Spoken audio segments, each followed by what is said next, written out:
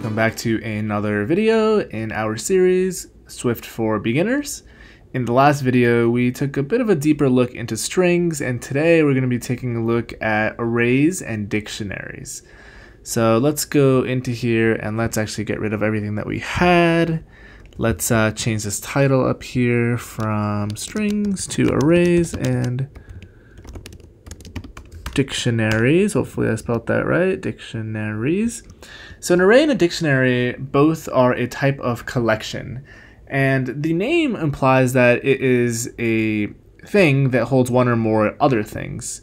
So the first of those things, arrays and dictionaries are both data structures. So pretty fundamental to computer science and hence fundamental to Swift.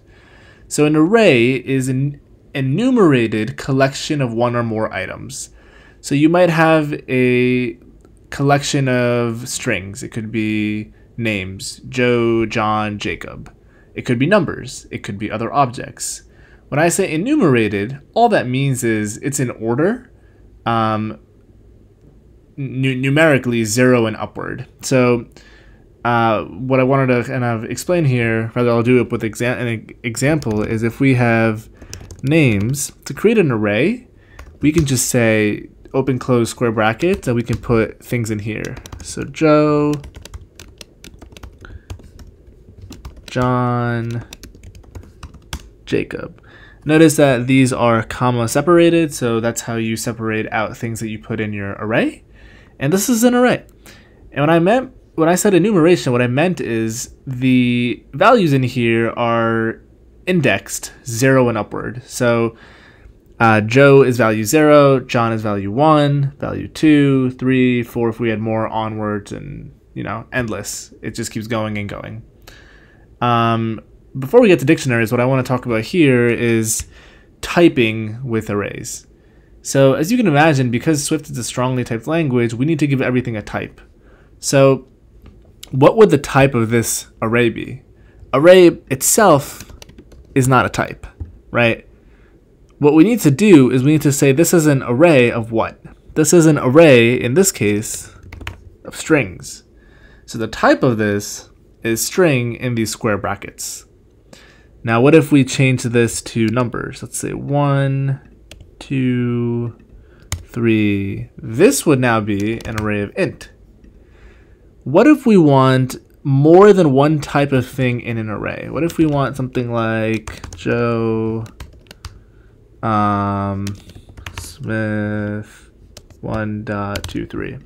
So now we have ints in here, strings, and a double. So now what we can actually do is we can change this to any. And that's perfectly fine as well. So what I want you to know is array itself is not a type. An array that holds a particular type is the type of that array. This array is a, a array an array of anything. Whereas this array is an array of int. So that's basically an array. You can iterate over the elements in an array. So when we actually, if you recall from our for in loop session, what we were doing there was we were doing something like this. For number in, let's call this numbers. For number in numbers, print number. If we go down here, if you give it a second, we'll see our numbers. And this is the notion of iteration where we go over every element in the array. And that's basically an array for you. So similarly, I want to show an example of a dictionary. And a dictionary is very similar with one key distinction. So let's go with um, cars. So in an array, while we have everything linearly comma separated, a dictionary, instead of just having values like this, will have keys and values. So a key will point to a value. So let's say we have the key being the type of car and the value being how many cars we have of that type. So just for sake of example, let's say BMW 3, Honda 1, Lexus 12. This is an example of a dictionary. Uh, the reason it's called actually a dictionary is because when you go and look up a word in the dictionary, it has a definition. In this case, the word is the key and the definition is the value that it points to in front of the colon. So when you go and look up BMW, you get this. Similar to an array, the type of this is not just dictionary. Notice that this is also in square brackets. The only difference here is we have a key and we have a colon and a value between every comma. The type of this is a string int dictionary. So we have a string as a key and the expected value for each of the strings is an int. So very, very similar. The, the beauty in a, in a dictionary is you can look up stuff much faster you can say, hey, give me the value for the key BMW. Whereas, let's say there was a key in here or a value in here called BMW. To find it, you would have to go through all of the things in it one by one to find it. And that kind of let, lets us uh, get into the discussion of performance, which is a little out of scope for this particular lesson. But this is the notion of an array, and this is a dictionary. Similar to iterating over an array, you can also iterate over a dictionary.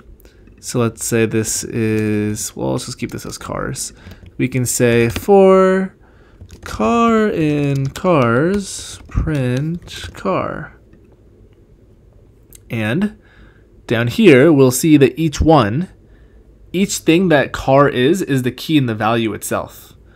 So optionally, you can actually say for key and value in cars, print the key.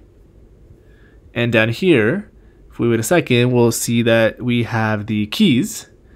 And now if we just print the value, for each of them, we should just get the numbers in this case. And we have the number. So arrays and dictionaries are very similar. They are very, very, very commonly used. So I strongly encourage you to understand them, ask questions about them, read up on them. If I can be of any more help, I am more than uh, open and welcome any feedback, comments, uh, suggestions, or anything you're struggling with. Um, and yeah, I'm going to leave the lesson right here. And I hope you guys found this video informative. Leave a like, follow, subscribe, comment. I will see you guys in the next lesson.